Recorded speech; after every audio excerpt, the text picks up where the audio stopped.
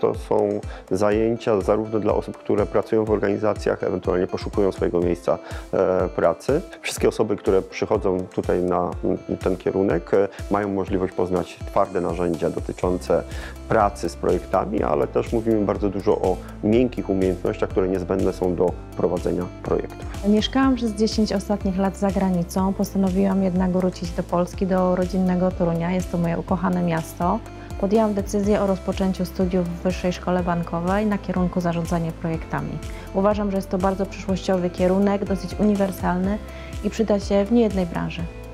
Jest to mój trzeci kierunek, który wybrałam tutaj na, na tej uczelni, na WSB. Prowadzę szkołę językową. E, Jestem również metodykiem i mam swojego bloga oraz współ- współpracuję z wydawnictwami.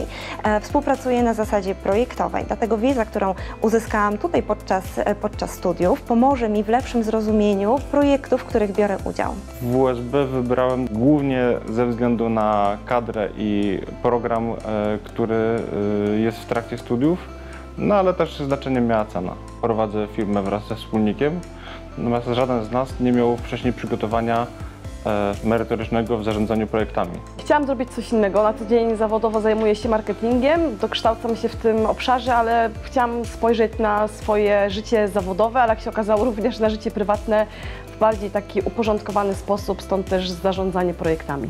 100% naszych e, wykładowców to są praktycy, to są osoby, które pracują e, z projektami. Prowadzący są bardzo profesjonalni, atmosfera jest wspaniała, pozna się mnóstwo ludzi z bardzo różnych branż. Daje to też właśnie takie rozszerzone myślenie o własnej ścieżce zawodowej.